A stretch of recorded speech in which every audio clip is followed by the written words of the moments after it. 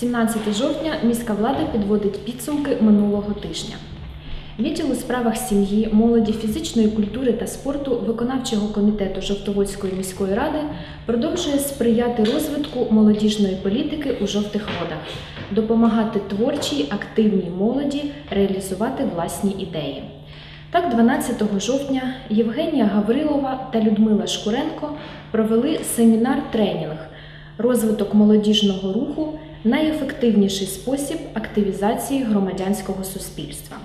Участь у тренінгу взяли 28 осіб із числа молодих лідерів, голів студентських рад, членів молодіжної ради та громадських організацій міста.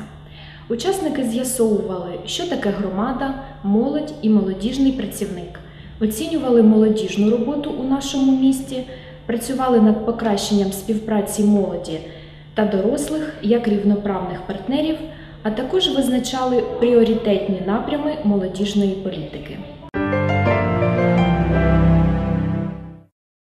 13 жовтня вся Жовтоводська громада вітала з ювілеєм нашу гордість, славетну землячку, багаторазову чемпіонку, призерку та рекордсменку України, Європи та світу з легкої атлетики Владилену Кокіну. З вітаннями та подарунками до фізкультурно-оздоровчого центру Державного підприємства Східний гірничо-збагачувальний комбінат завітав і міський голова Володимир Абрамов. За сумлінну працю, досягнення високих показників у легкій атлетиці, особистий вагомий внесок у розвиток фізичної культури і спорту у місті Жовті Води та з нагоди 90-річчя з дня народження Владилену Кокіну було відзначено почесною грамотою виконавчого комітету Жовтоводської міської ради. Окрім цього, журналісти телеканалу СТБ від Національного реєстру рекордів України вручили іменинниці особливий подарунок. Рекорд найповажніший вік учасниці марафонського забігу Дніпро Екомарафон на дистанції 10 кілометрів у віці 89 років 11 місяців.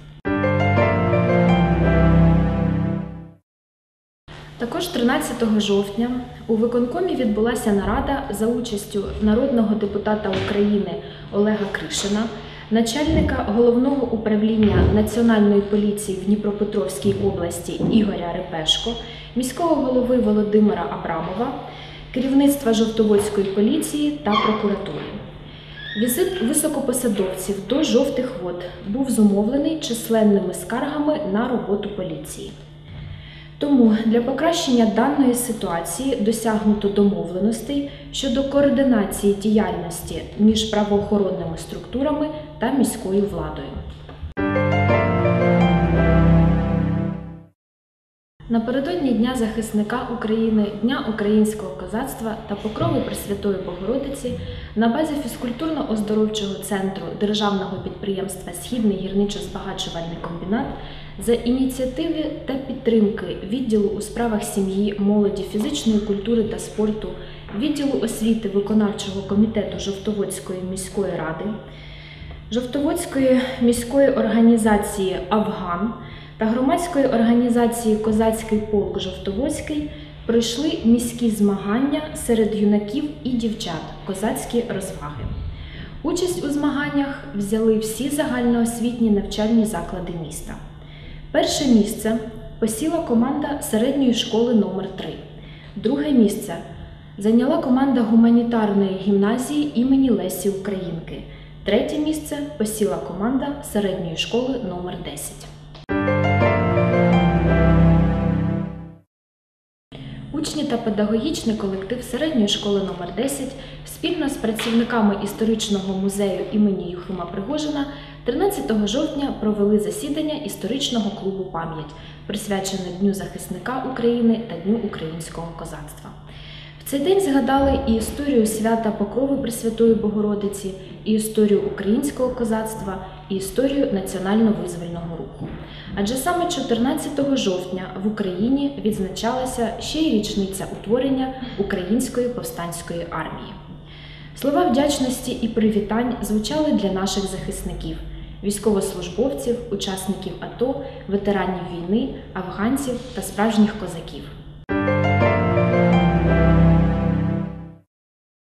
14 жовтня вся Жовтоводська громада відзначала День захисника України, День українського козацтва та свято Покрови Пресвятої Богородиці.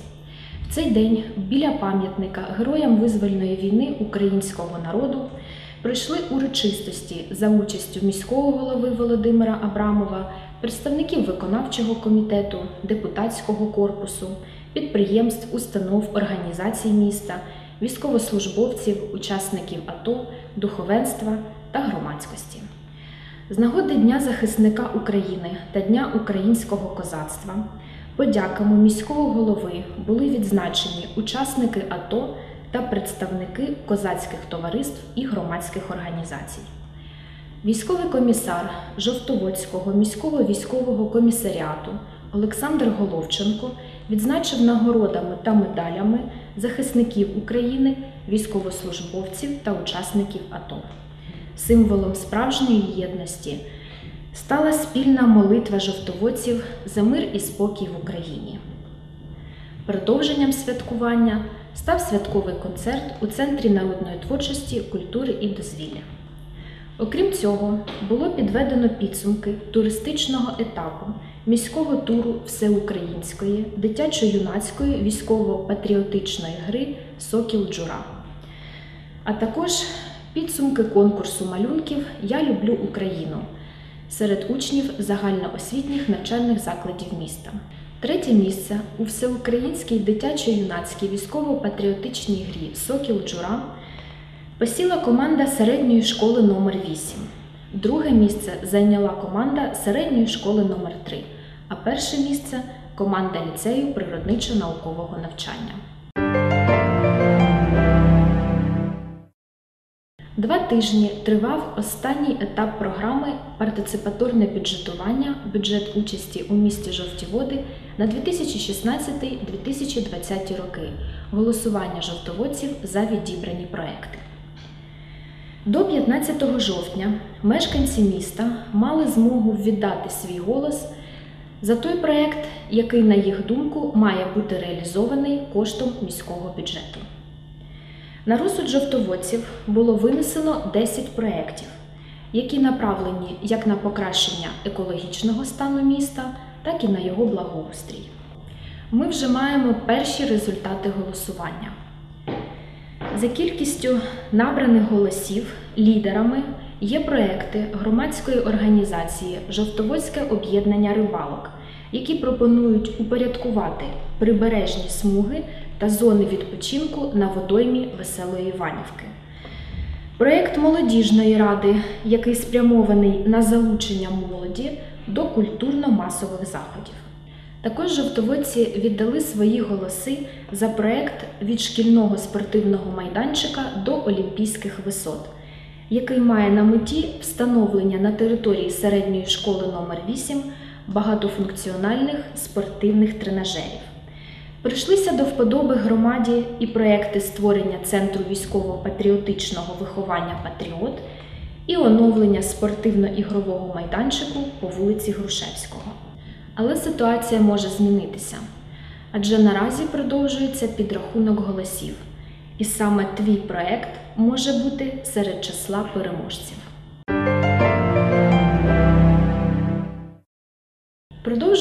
Свою роботу і постійно діюча міжвідомча комісія з розгляду питань, пов'язаних із відключенням споживачів від мереж централізованого опалення і гарячого водопостачання та встановлення індивідуального джерела опалення при виконавчому комітеті Жовтоводської міської ради.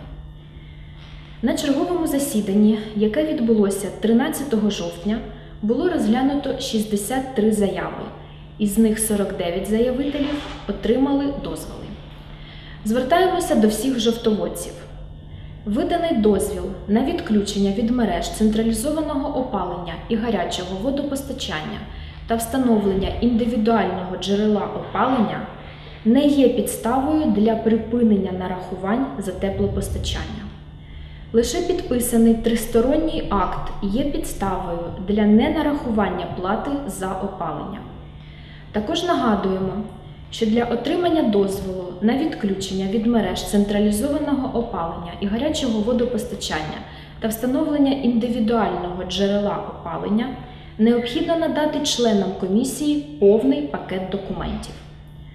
Це написана заява встановленого зразка, довідка про відсутність заборгованості за теплопостачання від комунального підприємства Жовтоводськ тепломережа та копія документів про право власності на квартиру.